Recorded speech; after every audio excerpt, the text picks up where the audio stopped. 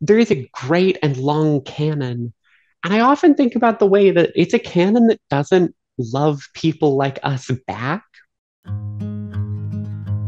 I was really thinking about Susan Sontag's Illness as Metaphor, where she essentially says the, the healthiest way of being ill is one that is completely purged of metaphor. And of course, in literally within the first page, she uses metaphor. There's a thin line between talking about your body and trying to convince someone that you're human. The community that I come from doesn't have a robust canon. Because in order to quote unquote integrate into spaces that we were not welcome in, um, uh, we had to sort of sublimate the things that made us not, you know, as quote unquote acceptable or to to the mainstream. Perhaps the erasure as a form uh, is is an inherited form of of deaf and disabled folks, um, and perhaps oppressed folks everywhere. This is the detritus of everyday life that Wallace Stevens was always saying we had to kick to the curb in poetry. My concept of disability poetics is that it's essentially a poetics of liberation. That, like, nuance, the claiming of vulnerability as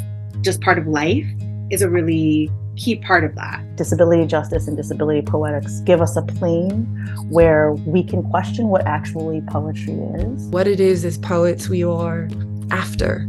Uh, what are we pursuing? And that was really challenging. It was tough to find sort of my own mm-hmm. way. Part of what I was trying to do in this project was sort of push back against this notion that pain absolutely destroys our capacity to speak about it. And we find ways to move around it, but I wish instead that we would just reject the premise of the question. That line is hard to navigate. That's the metaphor, right? It's a way in which form very much represents the reality of our lives.